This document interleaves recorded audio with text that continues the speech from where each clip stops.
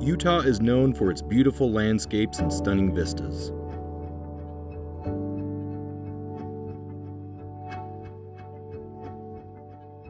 What's not as well known is the vast potential for renewable geothermal energy resources that lie beneath the surface. Small portions of this resource reach us via hot springs.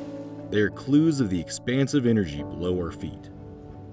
Utah currently ranks third in the nation behind California and Nevada for utility scale geothermal electricity generation and is one of only seven states tapping this resource.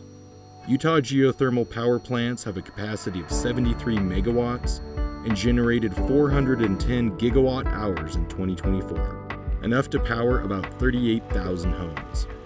That is only 0.1% of the total estimated undeveloped potential of 49,400 megawatts, which could power nearly 49 million homes. Meaning Utah's geothermal energy resources have almost unlimited potential for future power generation. And unlike intermittent renewable energy such as wind and solar, geothermal energy can supply a steady baseload of electricity 24 hours a day, 7 days a week.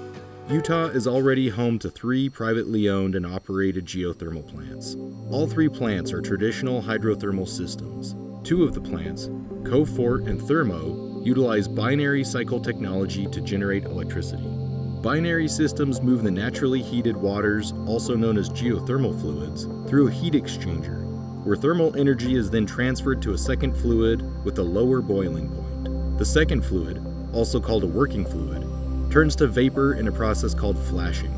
The superheated vapor pushes a turbine connected to a generator, and the resulting electricity is added to the regional power grid. The geothermal fluids are then re-injected back into the ground to be recirculated and reheated.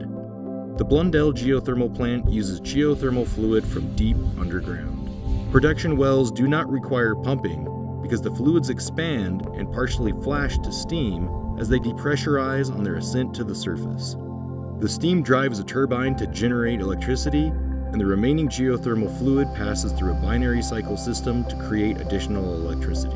Residual geothermal fluid is then injected into the subsurface, primarily to provide pressure support to the reservoir for sustainability. Northeast of Milford, the University of Utah operates the Utah Frontier Observatory for Research in Geothermal Energy, also known as Utah Forge. Since 2015, Utah Forge has been developing and testing the commercial viability of Enhanced Geothermal Systems, or EGS, a groundbreaking new technology that could help advance the uptake of geothermal resources around the world.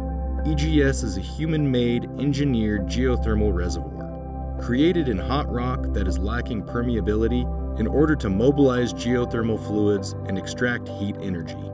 Multiple wells are directionally drilled adjacent to each other, and the rock between them is fractured, so injected water can permeate between the wells. Water is injected thousands of feet down into the fractured formation, where it picks up thermal energy from the hot rocks and returns via an adjacent production well. The now hot water is used to generate electricity through a steam turbine if hot enough, or a binary cycle system on the surface. Once the heat energy is extracted, the spent water is then recirculated back into the ground, and the cycle continues. Near Utah Forge, Fervo Energy's Cape Station project is underway. It is the first EGS site being developed for commercial electrical power generation.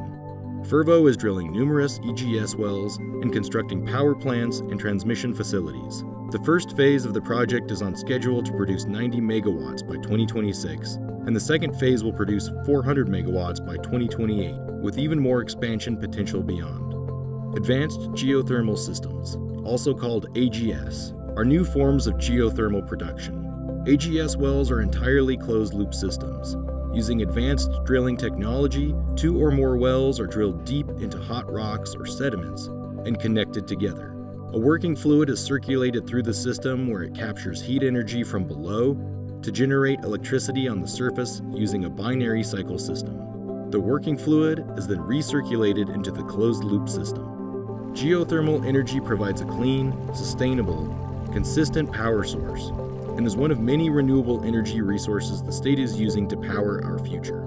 Geothermal energy resources are paramount, largely untapped, naturally occurring assets that are sustainable, renewable, and provide many benefits that outweigh other energy resources. Utah continues to lead the way in the development of these new technologies and is yet to scratch the surface of our geothermal potential.